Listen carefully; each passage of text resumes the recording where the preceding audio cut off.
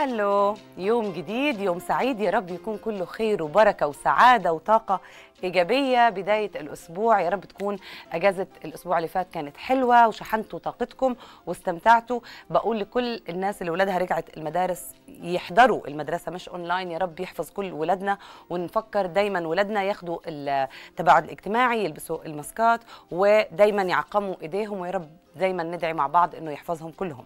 النهارده بما إنه إحنا بنتكلم على الولاد هنعمل حاجة الولاد بيحبوها جدا. وبياكلوها عاده من بره أو بنشتريها مجمدة وبنحمرها بالزيت. وبيبقى شعور عندنا إن هي أكلة مش صحية اللي هي الناجتس. بالذات الأطفال الصغيرين قوي بيعشقوا الناجتس. آه بنبقى عاملين أكل وطبيخ وأكلات كلها تجنن. مامي أنا عايزة ناجتس. وغالبا للسرعة يا إما بنعمل أوردر يا إما زي ما قلنا بنجيبها مجمدة. النهارده هنعمل الناجتس بكذا طريقة أو كذا خطوة تخليها سوبر صحية. الطريقة الأولى إنه هنعمل الناجتس في البيت وإحنا اللي هنخلط الفراخ وهنعرف فيها إيه لأنه عادة الناجتس هي مش strips هي مش فراخ سليمة هي خلطة من الفراخ بنخاف هم ضافوا إيه معاها فيها آه النكهات الصناعية إلى آخره هنضيف نكهات طبيعية هنضيف خضار وفوايد وكمان لما نحمرها هنحمرها بالمقلاة الهوائية من Mienta فهتكون الوصفة صحية وطريقة الطهي صحية. جنب الناجتس عادة بتاكل بتاكل fries بطاطس فإحنا عارفين ببساطة هنحمرها بالمقلاة الهوائية البطاطس العادية. النهاردة هعمل لهم برضو كروكيت البطاطس وهضيف فيها خضار وفوايد. وجبنة حاجات بيحبوها وندخل فيها الحاجات اللي عادة هم ما بيحبوهاش فبالتالي إحنا على الأقل ضامنين إن هم هياكلوا وجبة متكاملة. وهنحاول نقدم لهم معاها دايما طريقة تقديم صحية نشجعهم على أكل الخضار. بالنسبة للحلويات وبرده الولاد بيحبوها والكبار طلبتوا مننا كتير لما كلمتونا وبعتوا لنا على صفحات القاهرة والناس على ال social media وعندي على الإنستجرام براونيز مش براونيز بالأفوكادو اللي عملناها زمان ولا براونيز بالفاصوليا برضو عملناها زمان brownies brownies التقليدية. فهنعملها مع بعض وصفة على فكرة سهلة جدا. الناس بتفتكر ان البراونيز الصح هي وصفة معقدة. هي سهلة جدا عايزة بس خطوات بسيطة على البوتاجاز على بخار والباقي آه بس ببولة بنخلطهم وفي الفرن وب 25 دقيقة بقى عندنا أحلى براونيز. هنقدمها مع إيه؟ تعالوا نشوف لو عندنا وقت نقدمها مع آيس كريم ويمكن نعمل جنبها صوص كراميل. يجنن النهارده المنيو تنفع قوي للولاد وحتى أنا بحب ساعات كتير الناجتس بالذات الناجتس دي طعمها يجنن. يلا بينا على المطبخ.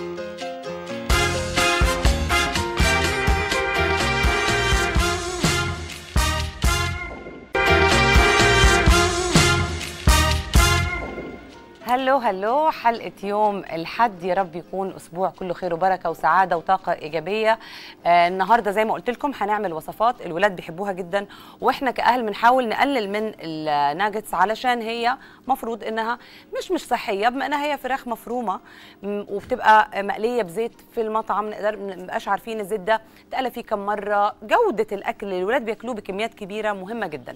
تعالوا النهاردة مع بعض نعملها بطريقة صحية ونسويها بطريقة صحية. وممكن تعملوها على فكرة وتحطوها بالفريزر وتطلعوا وقت ما أنتم عايزين. يعني في مرحلة بعد ما نعمل لها البيض والبقسماط ونحطها بالفريزر تتجمد ممكن نرجع ونحطها بكيس ونطلعها في أي وقت. أنا دلوقتي هطلع لكم اللي محضرينهم في ال air fryer من Mienta المقلاة الهوائية من Mienta. نقلي بشوية زيت بسيطين. تعالوا نطفيها. ممكن نطفيها في أي وقت خلال مرحلة التحمير. وأنا حاطة هنا مع بعض الكروكات. والناجتس قلنا الاير فراير نرفعها كده. لو في زيوت أنا عايزة أوريكم. عادة الزيوت بتنزل فين؟ بتنزل تحت. بصوا هنا هي سخنة بس. بصوا مفيش ولا نقطة زيت. وهوريكم حالا إزاي متحمرين كروكيت البطاطس. و نوريكم حالا الناجتس الاثنين دول الولاد بيحبوهم جدا. okay؟ والاثنين دول من الحاجات اللي بيتاكلوا على الأقل على الأقل مرة في الأسبوع. فإحنا محتاجين إنه دايما نتأكد على قدر الإمكان لو كلناها برة مرة البدائل اللي تبقى في البيت تبقى صحية. تعالوا نقدمها مع بعض.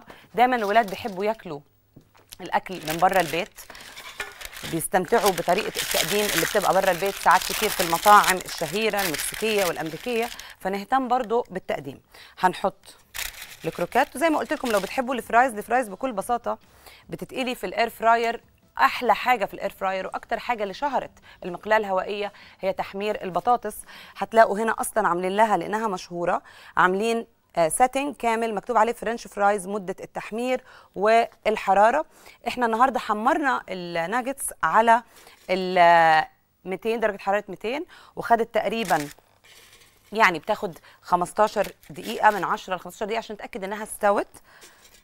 هنحط اللي سايح ده عليها ده الجبنة اللي بنغشش إيه بنزود شوية نكهات الولاد تحبها علشان يحبوها عن اللي بنشتريها من بره. عادة دايما يقول لك لا اللي بتجيبوها من بره أحلى طعمها أحلى. إحنا عايزين طعمها دي يبقى أحلى وتبقى attractive يعني الولاد يتشدوا ليها. طبعا هنعملها مع بعض كلها من البداية بس خلونا نقدمها.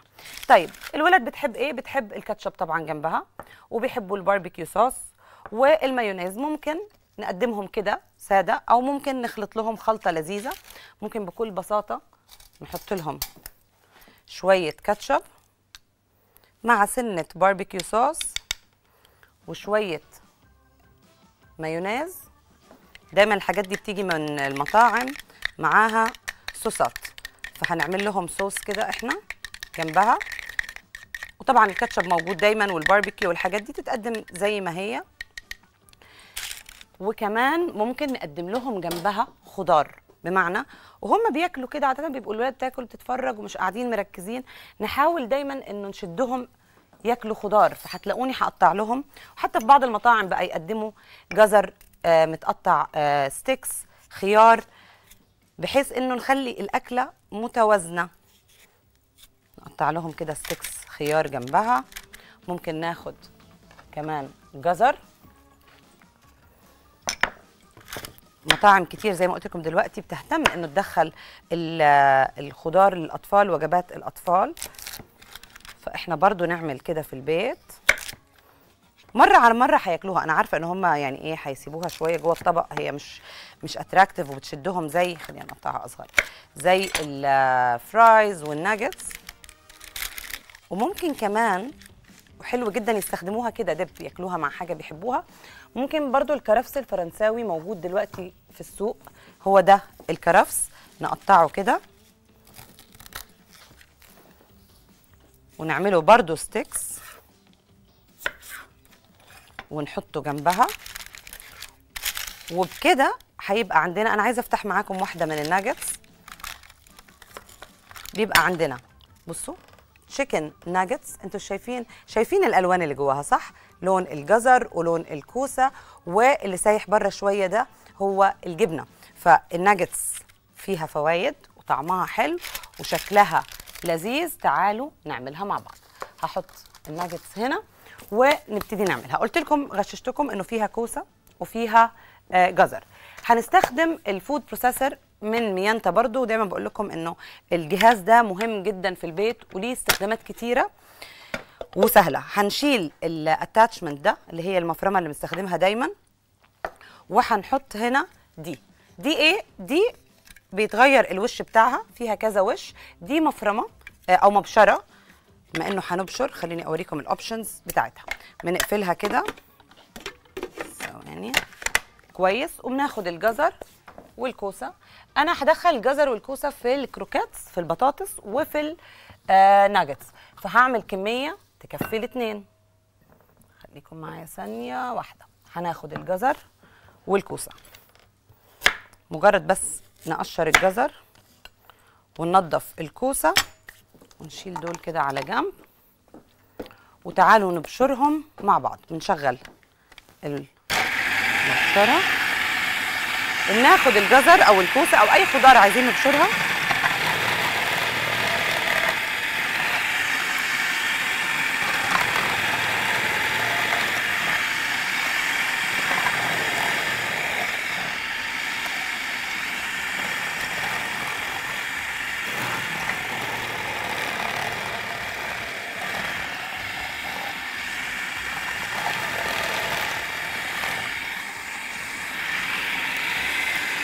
شايفين تعالوا نبص عليهم.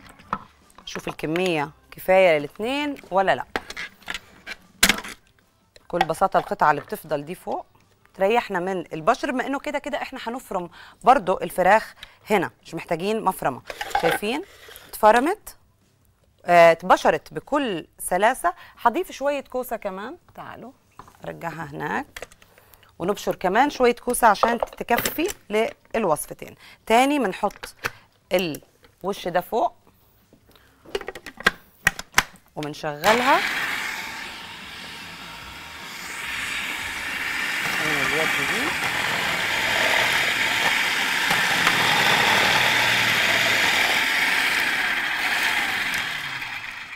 وخلاص ليه ضفنا الكوسة والجزر؟ الاثنين مالهمش مالهمش طعم قوي. ممكن يخلي الولاد يقولوا لك لا في طعم واضح جوه الناجتس إحنا مش حابينه. يعني الكوسة بتدخل والجزر في الحلويات في الكيكس لأنها من الحاجات زي ما قلنا اللي طعمها مش طاغي. هناخد الكوسة والجزر ونوزعهم في بولتين. ساعات كتير بتفضل الحتة الأخرانية دي نشيلها بس من البشر. هنجيب بولتين نوزع فيهم الخليط ده. خلوني أخلطهم بس عشان تكون الكمية متساوية بين هنا وهنا. نسبة الخضار ترجع لكم. ابتدوا بشوية شوية. نحط الخليط الأولاني ده هنا ونحط التاني هنا ونشيل زي ما قلت لكم القطع اللي بتفضل من عملية البشر على الأقل وإحنا بنعمل لهم الناجتس وهما بياكلوها بنبقى مطمنين زي ما قلنا إنهم بياخدوا جنب البروتينات كده هياخدوا بروتينات وهياخدوا خضار ومش هتتاخد زيت كتير في عملية التسوية. طيب هنضيف إيه؟ هنضيف الآتي. خلوني أجيب.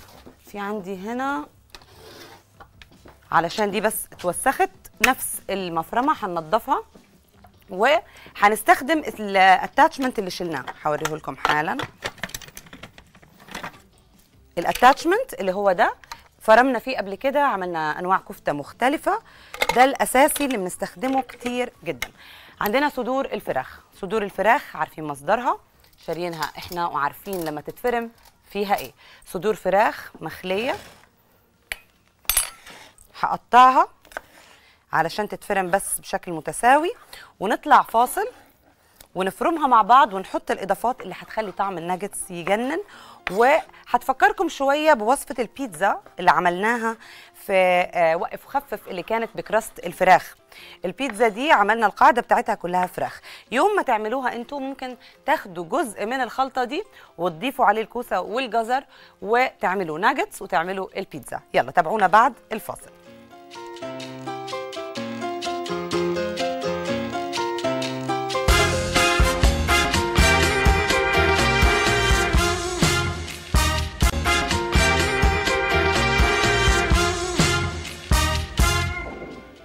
في الفاصل. أكيد ما لحقتش أعمل الناجتس دي. أنا عاملاها لما حضرت لكم الناجتس والكروكات الصبح.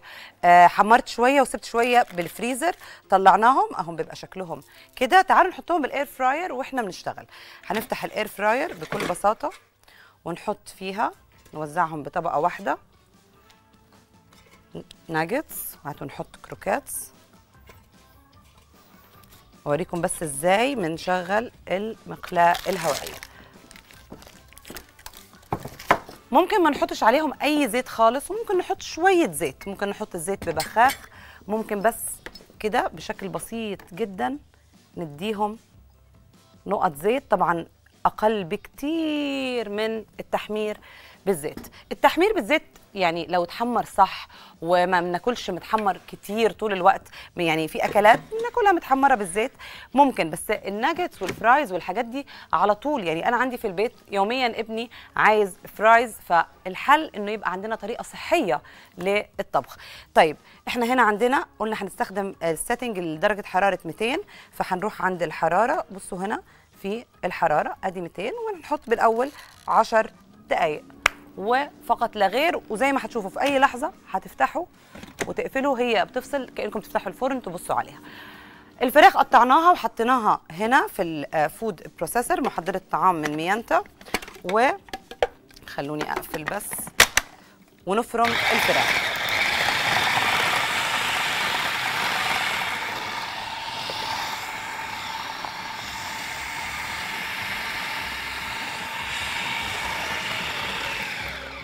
بكل بساطة الفراخ اتفرمت. هنضيف عليها الآتي هنا بال food processor هنضيف عليها زي ما عملنا بيتزا الفراخ. هنديها نكهة حلوة. هنضيف بصل بودرة. بدل النكهات الصناعية اللي بتبقى موجودة في ال brands اللي بتبقى يعني مش كلها بصراحة بس في حاجات بتضاف عشان الطعم. وكسبها الطعم إحنا مش هنضيفها خالص. هنكسبها طعم طبيعي. هنحط ملح. دايما نحط للاطفال ملح بتوازن وهنضيف بيضة.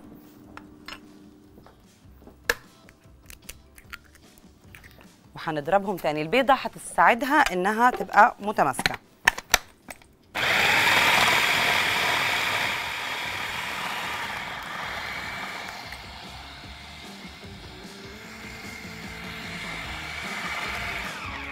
طيب تعالوا ناخد الخليط ده ونحطه فوق. الكوسة والجزر.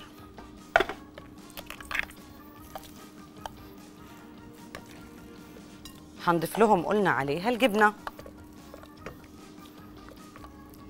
الخليط اللي في بالفراخ هنحط فيه بيضة واحدة مع البطاطس هنحط بيضتين علشان تتماسك أكتر. هنشيل ده خلاص. هنقلبهم كويس. وقلت لكم نضيف عليها جبنة. أنا عندي في البيت جبنة تشيدر عندي جبنة جودة عندي جبنة موتزاريلا.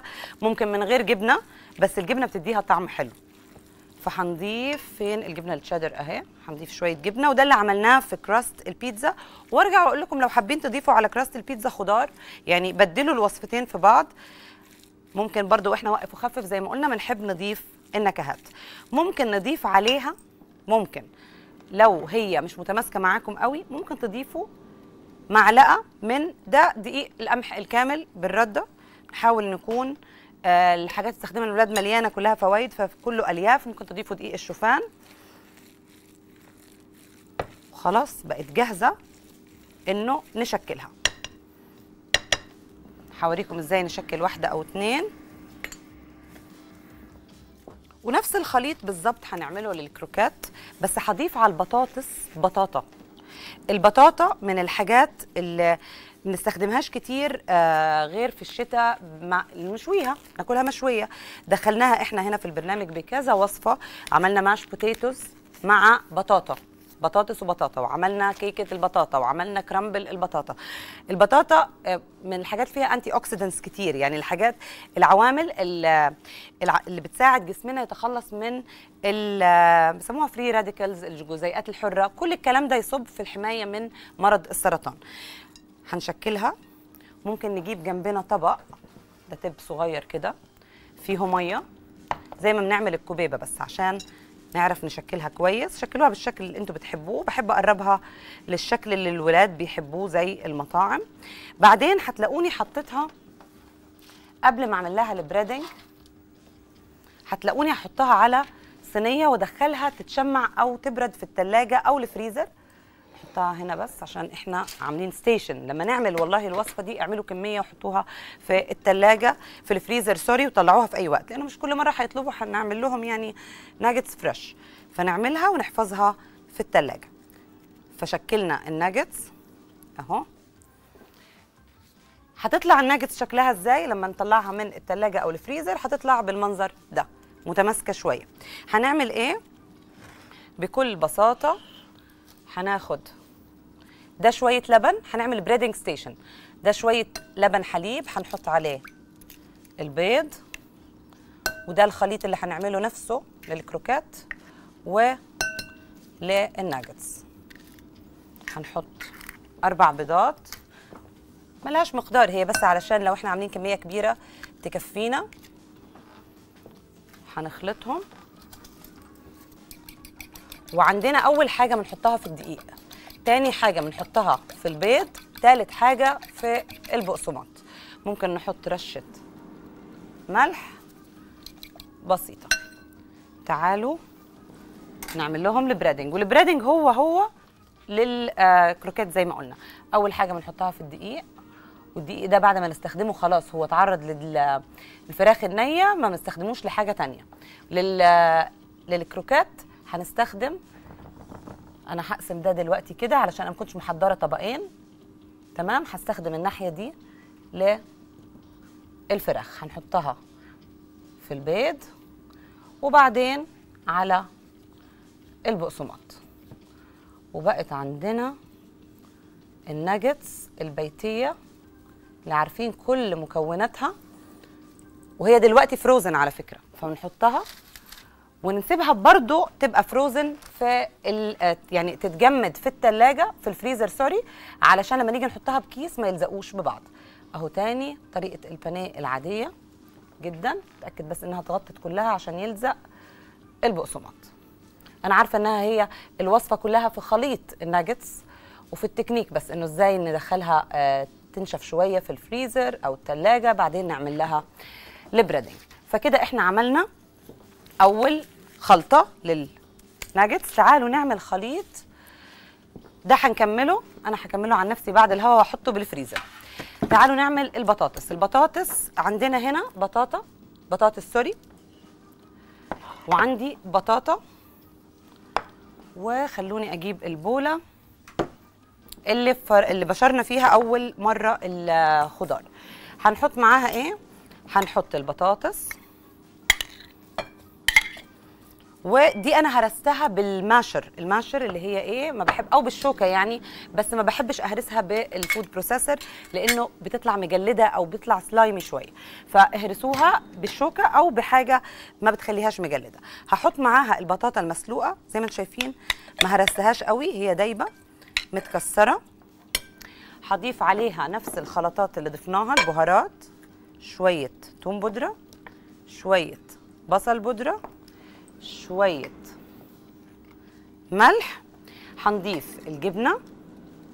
حلوة قوي الجبنة مع البطاطس. هتلاقوا قدامي جبنة موتزاريلا ممكن تضيفوها كمان. وهنضيف هنا على الخليط ده بيضتين ودقيق. الدقيق ممكن يكون أكتر من الناجتس لأنه حتى في الناجتس هو اختياري. هو مش آه يعني لو حد عنده حساسية من الجلوتين ممكن يستغنى عن الدقيق ويشوحها بالطاسة. ما ينفعش كمان البقسماط ولا الدقيق ده. هناخد دقيق. اخترت النهارده الدقيق اللي بالردة أو الشوفان وهنخلط الخليط ده كله. ولو احتاجنا بيضة كمان ممكن نضيف. أتأكد إنه كله اختلط مع بعضه بالذات البطاطا اللي إحنا ما هرسناهاش. ممكن تهرسوها لو أنتوا عايزين تخبوها قوي ممكن تهرسوها. بس هي وأنا بهرس بالشوك بالمعلقة كده دابت. ده خليط الكروكيت اللي فيه خضار مختلفة مليانة فوائد مختلفة بالذات إنه البطاطا زي ما قلت لكم فوائدها والبطاطس مليانة حديد دي من الحاجات لازم نعرفها عشان ما نتضايقش لما الولاد ياكلوا آه، بطاطس كتير هي طبعا فيها نشويات بس هي حديد وهم محتاجين الطاقة والنشويات. هنعمل إيه؟ هروق حواليا بسرعة ممكن نبص سريعا هنا على الإير فراير قبل ما نطلع فاصل. تعالوا بصوا. ابتدت تاخد اللون. شايفين؟ ابتدت تاخد لون حلو. في المرحلة دي ممكن نقلبها الناحية الثانية هقلبهم كلهم.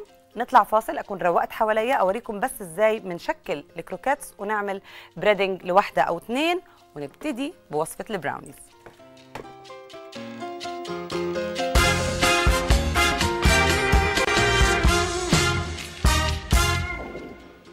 ورجعنا روقت المطبخ حضرت حاجة البراونيز جنبنا.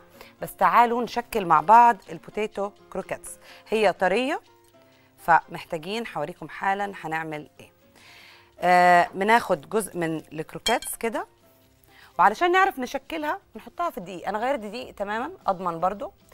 دايما آه، ال- الفراخ نبقى حريصين جدا مع وهي نية. أي حاجة بتبقى فيها الفراخ نية ما نرجعش نستخدمها ولا نعمل حاجة اسمها cross contamination اللي هي إنه ننقل ال- البكتيريا الضارة لو هي فيها لحاجة تانية من غير ما نبقى شايفينها البكتيريا والحاجات دي تبقاش موجودة قدامنا بالعين المجردة. بصوا أنا بكل خفة كده شكلتها الشكل ده شكلوها الشكل اللي أنتوا حابينه. okay أهو. شايفين؟ نرجع نحطها شوية بالدقيق. أنا بحطها في الدقيق قبل ما أدخلها التلاجة تمسك نفسها شوية. ممكن على طول تعملوا لها breading بصوا تعالوا. دقيق. امسكوها بس بخفة. هي لو في التلاجة أو الفريزر هتمسك نفسها أكتر. تبقى أسهل بالتعامل من غير ما نغير شكلها. بعدين البيض بعدين البقسماط. تأكد إنها من كل الجهات. وهي دي ال potato croquettes هم دول بالمنظر ده هيدخلوا الفريزر لو أنتوا مش هتسووهم دلوقتي حالا. ويجمدوا تماما وبعدين تحطوهم في كيس وتطلعوهم في أي وقت تستخدموهم. هوطي بس الحرارة هنا. خلاص خلصنا وصفة ال croquette وعملنا الناجتس. تعالوا نبص على البراونيز. ترارارا. هي دي ال brownies ال brownies اللي طلبتوها مننا اللي هي مش فيها آه زي ما نقول ابتكار على وصفة البراونيز. لما عملنا ال avocado brownies كانت تقليل الزبدة استخدمنا الأفوكادو ودخلنا فيها فوائد آه لما عملنا اللي بالفاصوليا شلنا الدقيق تماما. هنا دي البراونيز العادية جدا التقليدية. بحب أخبزها بورقة الزبدة. تعالوا نبص عليها مع بعض. تبقى من فوق للي بيقولوا لي مثلا دلوقتي هي مشققة من فوق ومكسرة. البراونيز الصح ليها crust من فوق. ليها من فوق الطبقة اللي فوق بتبقى مقرمشة شوية. crusty. تعالوا نقطع قطعة. ولا أقول لكم علشان إحنا هنعمل الوصفه على ال bain-marie. وهنعمل صوص كراميل زي ما قلت لكم لو الوقت سمح لنا والوقت إن شاء الله هيسمح لنا نعمل صوص الكراميل. ده اوبشنال يعني للتقديم. فهنحط في الطاسة هنا حاجة الكراميل بكل بساطة مع بعض لأن ناس كتير بيسألوني على الصوص ده برغم إنه عملناه كتير بس تعالوا نعمله تاني مع بعض. هحط الحرارة على أعلى درجة وأوسع العين بزرار واحد. دي مميزات بوتاجازات بيكو إنه بنقدر نوسع مساحة الحرارة. هناخد فين هنا؟ عندي. نص كوباية زبدة. كل. كل المكونات مع بعض. نص كوباية زبدة. هنحط معاها تقريبا تلتين كوباية سكر بني أو أبيض زي ما بتحبوا. كله بنفس الوقت. مش هنستنى السكر يسيح. هنحط معاهم كوب كريمة حلويات. وهنضيف عليهم اللي هيديهم اللون. لأنه بيسألوني مثلا ليه بيبقى لونه زي الكراميل. ده تريك. بحب أستخدمه بنضيف عسل أسود. عسل الأسود اللي هو دبس القصب عصير القصب بتحول لدبس بيدي اللون وبيدي طعم حلو. وبكده لا هنستنى الزبدة تسيح ولا هنستنى السكر يكرمل. كل المكونات دي مع بعض. بالآخر هضيف له شوية الملح اللي هتوازن الطعم. فخلي الكراميل يبتدي هنا على الطاسة. ونبتدي كمان نسخن ال bain-marie اللي هي آه بنسميها إيه؟ التسوية على إيه؟ حلق آه بخار المية. لازم تبقى المية بعيدة مش لامسه آه، البولة. البولة لازم تبقى من يا إما stainless steel يا إما نوع من الإزاز المقاوم للحرارة. فالمية ما تلمسش على طول هو البخار بس اللي بيلمس الحلة. تعالوا نقطع دي مع بعض. نعمل قطعة كبيرة علشان نقدمها في الطبق فوقها الآيس كريم. فهقدمهم نعملهم كده تعالوا. شايفين الكراست اللي فوق؟ هنعملها قطعة كبيرة. أنتوا قطعوها في البيت لو عايزين مربعات أصغر. ممكن نشيل الحرف كمان لو حابين. في ناس بتحب الحرف في ناس ما بتحبوش قوي. بس أنا عايزة أوريكم لأنه شكلها من جوه. أنا بحب الحرف. هناخد القطعة دي.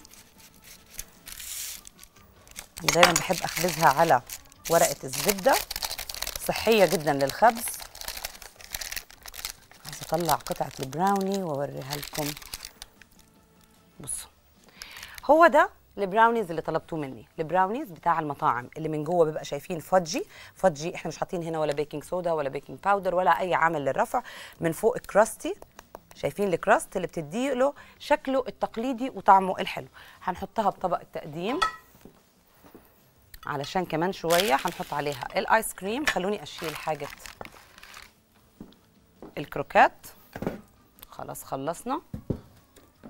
ونركز في البراونيز وفي الكراميل وفي الوصفة. طيب هي إيه البراونيز؟ هي آه نوع من آه آه، هي غالبا غالبا اختراع يعني أعتقد إنها أمريكية مشهورة جدا في ال coffee shops حول العالم. وصفة بيدخل لها نكهات كتير. أهو الطبق خليه قدامنا. وده فعلا فعلا يعني أنا دايما بحب أقول لكم الوصفة على أصولها وأقول لكم لما نعمل ابتكار إنه ده ابتكار. البراونيز في المطاعم تبقى تشتروها أنتوا عادة تبقى شكلها كده. اهي هنقطعها. شايفين؟ طعمها يجنن. مكوناتها بسيطة. تكنيك اللي بنعملها فيه سهل جدا. محتاج بس إنه ندوب الشوكولاتة والزبدة على البخار. وبعدين في نفس البولة بنضيف باقي المكونات. خليني أكمل تقطيعهم. عارفة في ناس كتير دلوقتي متحمسة تشوف الوصفة لأنهم بيحبوا البراونيز. سلام عليها مع قهوة. سادة لأنه زي ما قلت لكم التوازن كده هي مسكرة. ناخدها مع حاجة سادة. نطلعها كلها. صدقوني هيتبسطوا منكم قوي قوي اللي بيحبوا الشوكولاتة لو عملتوها لهم. هدية حلوة لما إحنا نروح نزور حد في بيته عاملينها بإيدينا. تعالوا معايا هنا على الكراميل. محتاجينه يتقل. هو كده. ابتدى ياخد اللون الحلو. هي أقرب لحاجة اسمها باتر سكوتش هي نوع الصوص اللي هضيف له حالا علشان التوازن زي ما لسه بنقول توازن إنه نشرب القهوة أو المشروبات الساخنة سادة جنب الحلويات. هنرش رشة ملح بحري على الكراميل وكده يبقى اسمه salted caramel خلينا ناكل أكتر للأسف لما يكون ما بنجزعش من الحلاوة. هطلع الباقي. معانا وقت قد إيه يا control طيب هطلع الباقي دول ونبتدي نحط الشوكولاتة والزبدة وأقول لكم المقادير قبل ما نطلع فاصل. ولما نرجع هكون حطيت دول في طبق تقديم. حلو بس حبيت أوريكم the classic brownies طبعا دول مش مش هنرميهم دول في ناس تعشق ال crust هنحطهم على جنب. خليهم هنا ونروق كده سريعا حوالينا. وأقول لكم حالا مكونات البراونيز عندنا 120 جرام زبدة تمام؟ خلينا في الحلويات نكون دقيقين. أهمية الميزان في البيت للحلويات بالذات اللي إحنا حافظين لها ملمس عارفين لها reference يعني إيه reference يعني ممكن تدوقني حلويات جديدة وأقول لك آه حلوة بس تقول لي دي براونيز ما تحاولش تقنعني إنه دي براونيز فلازم نلتزم بالمقادير. فأرشح لكم دايما ميزان صغير للمطبخ. 120 جرام زبدة. هنحط عليهم 170 جرام شوكولاتة غامقة. دي الشوكولاتة الغامقة. dark chocolate شوكولاتة طبخ تلاقوها في ال supermarkets في محلات تجهيزات الحلويات. مش اللي بناكلها يفضل تبقى مكتوب عليها شوكولاتة خام للطبخ. هحط 170 جرام الشوكولاتة. وهنبتدي نسيحهم. خلوني أجيب spatula هنبتدي نسيحهم على حمام المية ال bain-marie ونرجع بعد الفاصل وأوريكم قد إيه سهل نعمل البراونيز. صوص الكراميل خليه يتقل شوية هنا. ونقدم ال brownie الكبيرة اللي قطعناها دي مع الآيس كريم والكراميل. ونكمل خطوات ال brownies. super سهل واللي على الأصول.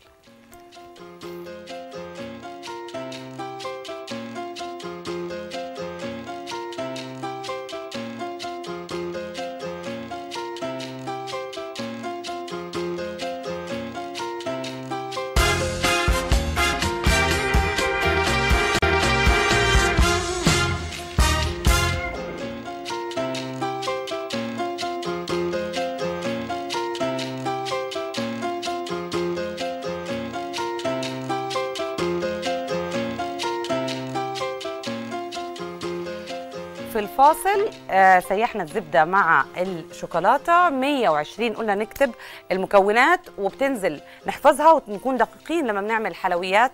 بالذات زي ما قلت لكم الحلويات اللي ليها ملمس معين زي البراونيز لازم يبقى لها crust من فوق نحافظ على المقادير كويس.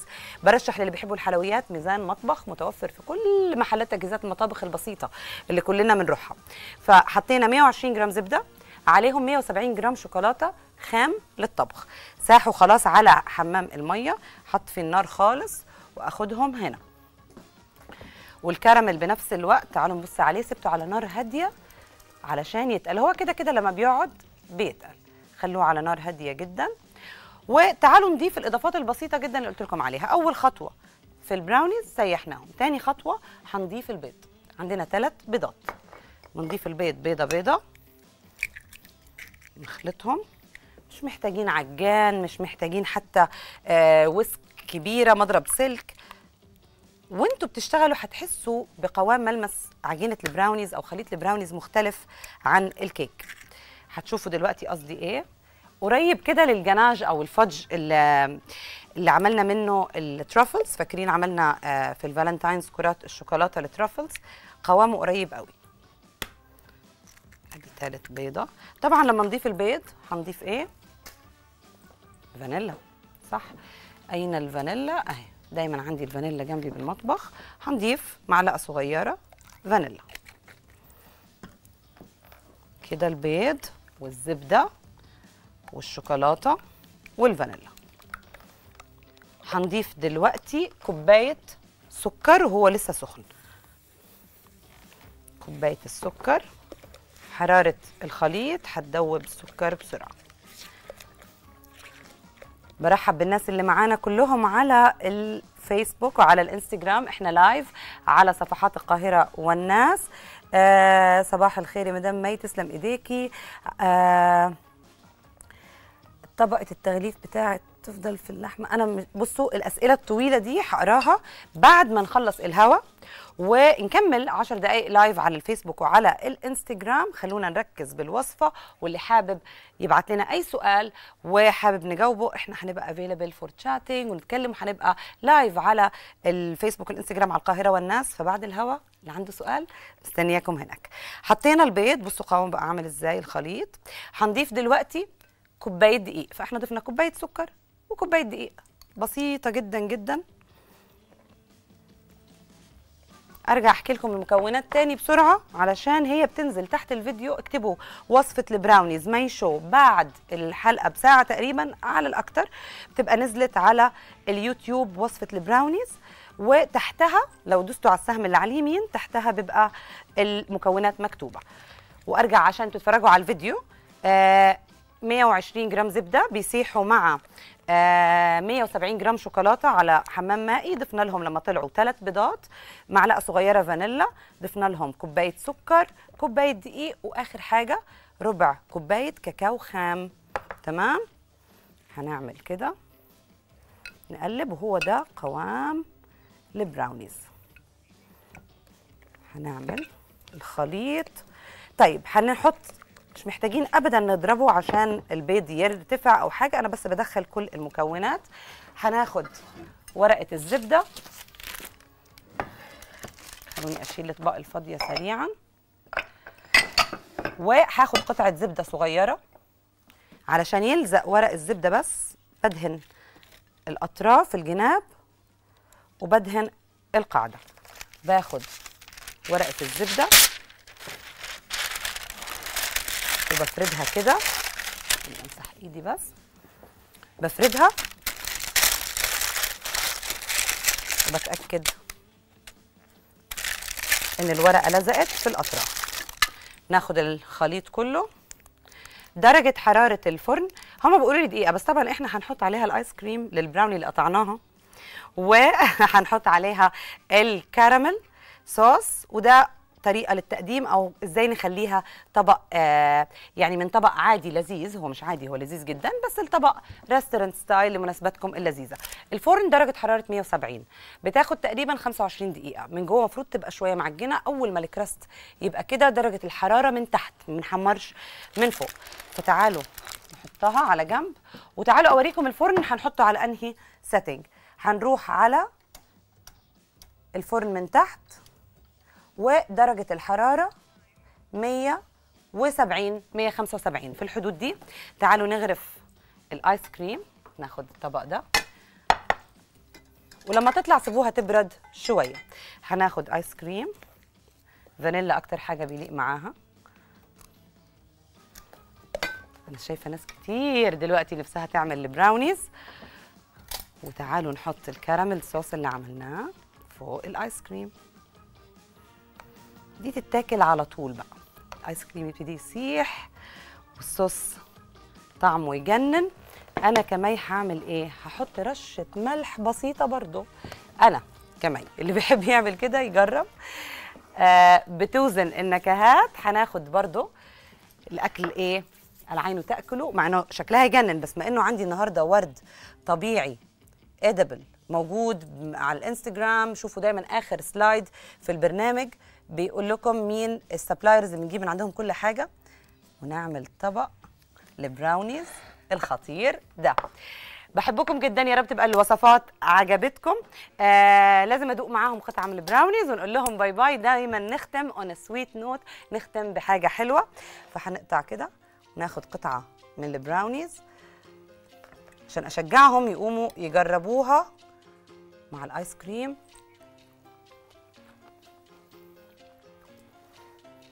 عمري ما غيرت الوصفة دي. براونيز الصح ما بقعدش أدور. لما يكون عندك وصفة صح لحاجة معينة ومشهورة وبتحبها اثبت عليها ودايما اعملها بنفس الطريقة لأنه طعمها ولا مرة بيطلع غير أحلى من المره اللي قبلها اشوفكم بكرة مكملين live على ال social media وتابعونا باقي الأسبوع وصفاتنا كلها. تجنن. bye.